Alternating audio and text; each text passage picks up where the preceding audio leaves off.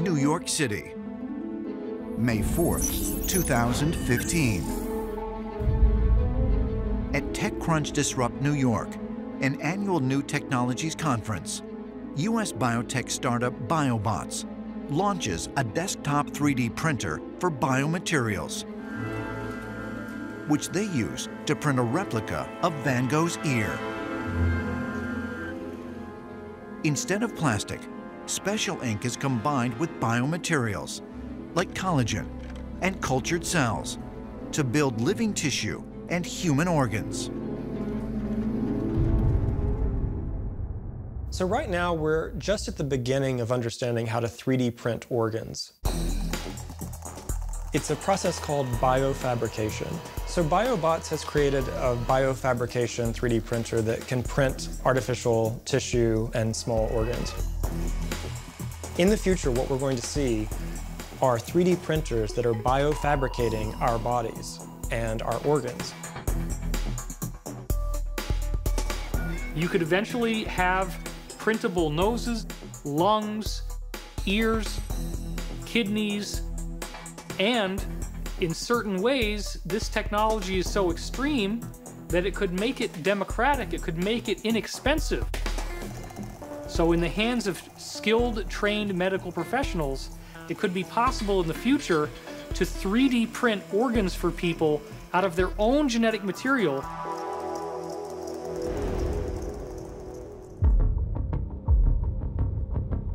transhumanists believe we may soon transcend our biological limitations as we embed machines directly into our own bodies.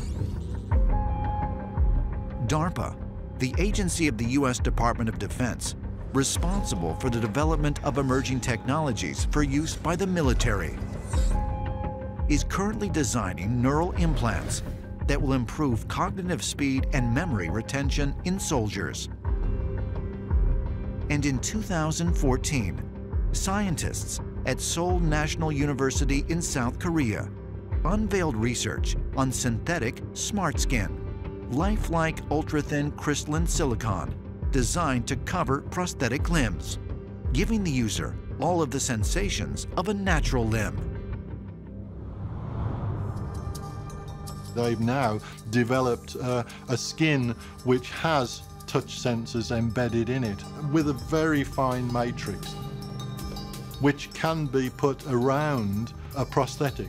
So you can actually feel what that arm is feeling, or you can touch the floor, feel whether it's hot or cold, or applying pressure.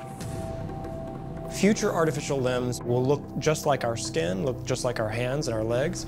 It's going to affect the entire world. We're going to see people using smart prosthetics that are added to the body that can be controlled directly through the brain.